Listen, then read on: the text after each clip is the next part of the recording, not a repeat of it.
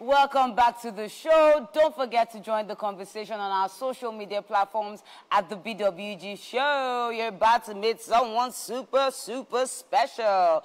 Olasunkanmi Opeifa is a teacher. He teaches English language at the Government Day Secondary School, Karu, Abuja. Olasunkanmi is popular for teaching his secondary school students in fun and entertaining ways, which has enabled learning significantly for his students.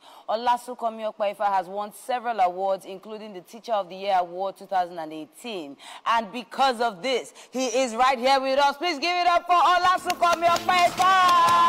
Yay!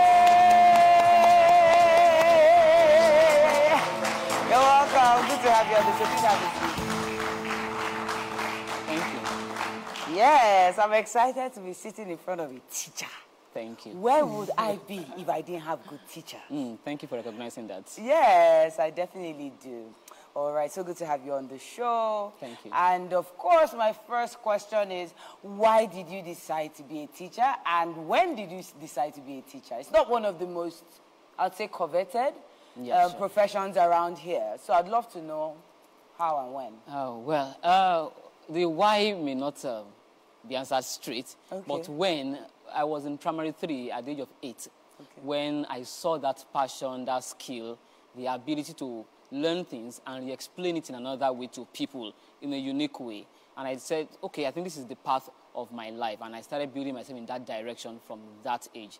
Then I remember in primary five, a teacher asked us to write all this article, um, essay um, composition then Okay. on myself. And I wrote that I wanted to be a teacher. Then Mr. Loyede asked the student to stand up and clap for me. Aw. I wanted to be a teacher. And that was the encouragement I had. And since then, I've not done any other thing in my life anyway, other Wow, than teaching. And the why, maybe passion is there. It's my line, it's my purpose in life. And I'm enjoying it. Fantastic, fantastic. Thank you. I must, I must ask this. Uh, private schools appear to be the, I mean, the popular thing right now. And, but you teach in a public school. Why is that so important to you? Why? I, because I know, you- I mean, best teacher to 2018. You could have easily gotten into almost any school Sure. you want to work in, but you're in a public school. Why? Is there a reason for that? Well, as I said earlier, passion and the purpose of man in life should be the one driving you.